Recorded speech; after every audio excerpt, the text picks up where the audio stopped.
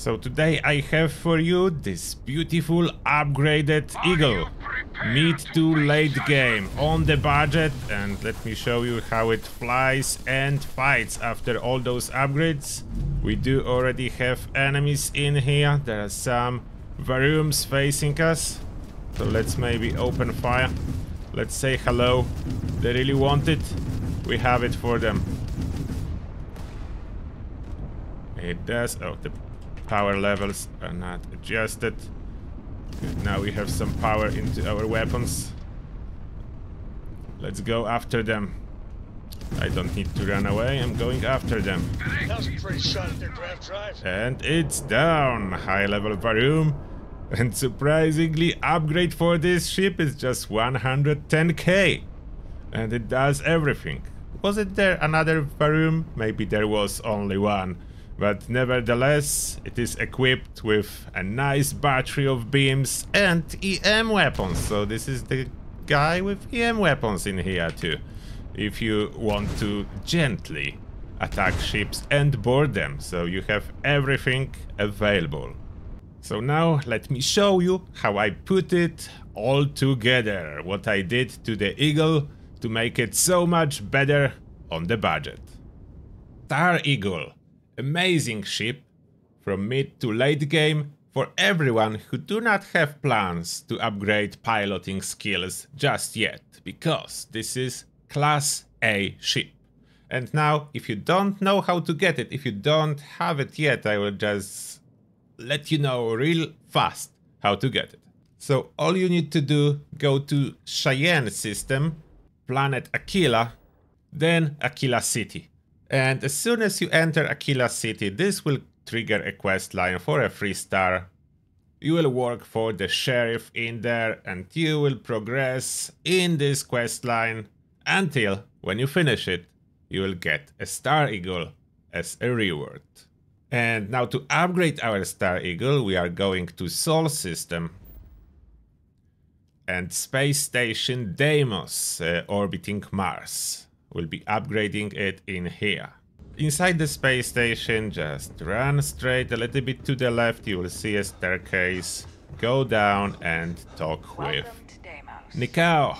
First, I really care about interiors to be more useful than those are on the Star Eagle, and I want to keep it looking about the same. Not exactly the same, but about as is as Eagle. So I'm moving over those two EMP weapons, I will keep them as this is the unique part about Star Eagle. It should be law enforcement. So for this build, I'm keeping those EMPs, especially that those are endgame EMPs available very early if you unlock this ship early. Now what we'll be doing here, we need to remove some of the landing gears as we are changing the docking bay. So remove this landing gear, go underneath select this landing bay, delete it, and we are inserting in here a Deimos landing bay. A little bit bigger and entrance up, so we eliminate a need to walk all the ladders. Now from the top side, we need to streamline it a little bit and move stuff around. So this goes forward, this piece goes forward, uh, this docker as well goes forward shield, like we're basically moving most of this stuff a little bit forward as well. It will give us access to what is underneath that we need to redo. Those three pieces go. Now I will replace all those inhabitants for Deimos ones. Unless you really want this brig on your ship, then you can keep it. I prefer on the main level to have stuff that is more useful. So now I'm adding habitats from Deimos, two in one. And first one, the standard one, I will show you how it looks like inside when I'm done. So that will be improvement to kind of a maze that is there by default. Then I put a workshop. Of course, doesn't want to place. Come on, place yourself workshop. Workshop. And then on other side, I'm attaching the science lab. So we have workshop, science lab, bedroom, all in there, streamlined. Of course, if you really care about getting highest possible mobility, you will either need to reduce the cargo capacity or change how the eagle looks like. If you want to keep the nice big eagle look, the mobility cannot be 100 or you will need to add even more engines and that's not worth it. So we're going with slightly lower mobility but still very good. I will i will show you in combat or i probably already did before the video start. Either way you will see it. Now for the top part here i don't want any more inhabitants that can cause a maze. So not inhabitat but we are going for structural components. And we are using deimos hull like attaching those. Those are just structural components. There is nothing inside, so there will be no additional doors in here created. Then we need to attach on site. Again, Deimos are the same components that this ship is already using, so it will uh, fit perfectly. And we want to add uh, this wing, but okay, doesn't want to add here, so add it in here. Flip it out this way. The second variant fits here and the same on other side. Got it. So that's streamlined on top. Of course, when we add paint back, it will improve greatly. Now it's gray. That's not how it's supposed to be, but we will get into the paint. Now to finish the look in front a little bit so it doesn't like have straight end without a reason, we add some viewing experience in space, some windows. From what is too weak on this ship, the grav drive unfortunately need to be replaced, so that's some cost, but it will not be very expensive upgrade, so don't worry. I'm trying to keep it friendly on your wallet, and we are going for a grav drive. And if you don't want to use any of the design, we are going for Air 4000. We are going for Air 3000. If you do plan to get your design max out, of course you can use higher grade than that. But this will give us enough range, it's 900. As you can see, the drive range is 23, but I'm only getting 900, uh, 19, as there is too much weight on this ship. At this point, we need to replace weapons for something really good. So let's scrap those. Uh, let's remove those missile launchers too. Okay, uh, the EMPs will stay. EMPs will stay. I'm keeping the EMPs on this one. Now, there is quite a lot of weapon attachments already, so let's start adding. And the best weapon on slot number one, I would use Vanguard Obliterator Auto Projector. If you don't know how to unlock it, uh, what I said wrong in last one, you need to join Vanguard and do the first quest for them. So Vanguard is in a MAST district in New Atlantis. So you will find it easily. Now we are placing total of six obliterators. There are attachments over there. So obliterators attach underneath. Jump, no, obliterator please. And two obliterators just put on top. There is room for two more, and that's six total. That's the only weapon that you can play six. Extremely powerful and available from level one, so... Crazy power. Probably a typo when someone was putting the max power for those weapons. But hey, the best weapon. So for class A. So then the second weapon we are putting on the tail. And that will be PBO 30.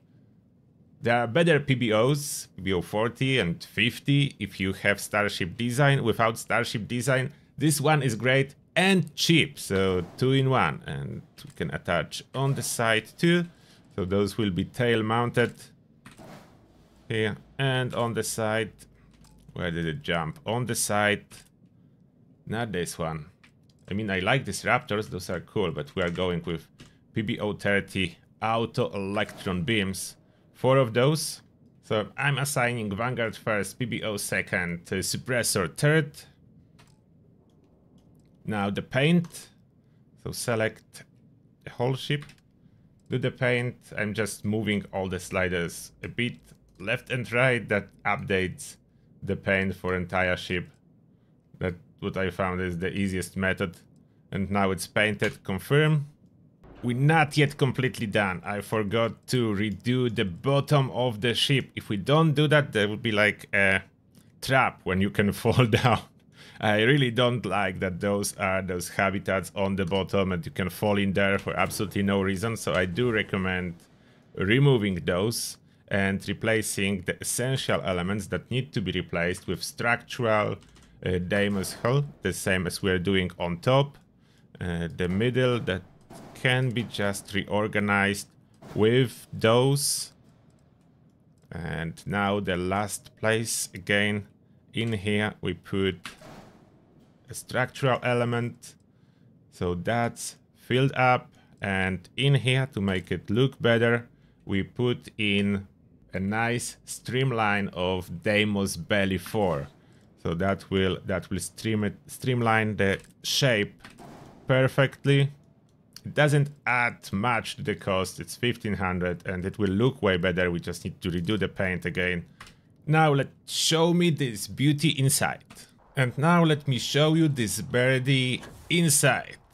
Let's run and have a tour. That's how the landing bay looked like. We enter. Straight in, we have our cockpit. The originally equipped here, so we didn't modify this part. Read any good books Uh, then if you move forward, there is one ladder in here that must be, as that's a docker on top. You will not be going up normally, there is like no reason. But if you want to see what's in here, your crew will be hanging out in this area. There is this docker and your crew can be hanging out in this area. You have no purpose to go there. And the reason we remove everything from down below, otherwise there would be a ladder here. And you will always need to be careful don't to fall down or walk around or crash into it. At least that's what happening to me. There are two beds, so there is good chance one will be available for you if your crew decided to have a nap. Then to one side, you have all your research station. I mean, this side you have all your workbench stations that you may possibly use weapons, spacesuits, industrial, and nice window so you can have a look what's going on on the outside. And on other side, you have Yeah, your you research have station and pharmaceutical lab. So all available in here. There's really large cargo as well, so you'll have all those resources that you need in this ship. And that it is. That's my version of the Eagle. Upgraded with very effective weapons, streamlined interiors, and that's it. I didn't reduce cargo because this is already a great ship to start with. Now it's even better. If you want, you can copy that or you can redo it as you please. And that being said, thank you a lot for watching and see you all in the next one. Ready here. Core is good too.